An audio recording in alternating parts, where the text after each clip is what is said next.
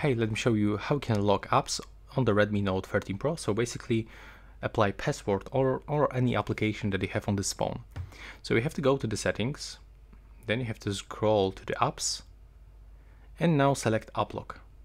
Then click to turn it on.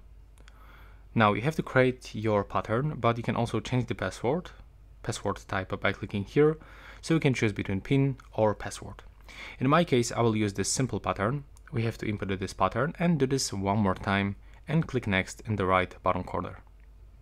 Now additionally we can log into the Xiaomi account.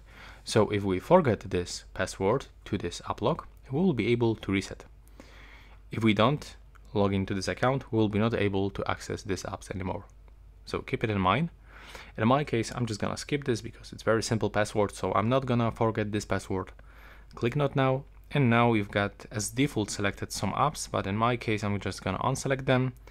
Click to use app lock. You can additionally turn on the fingerprint unlock. And now if you want to set password for any application, just click on this switcher.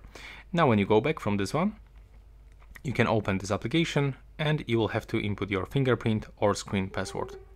And that's all for this video. Right now, please subscribe to my channel.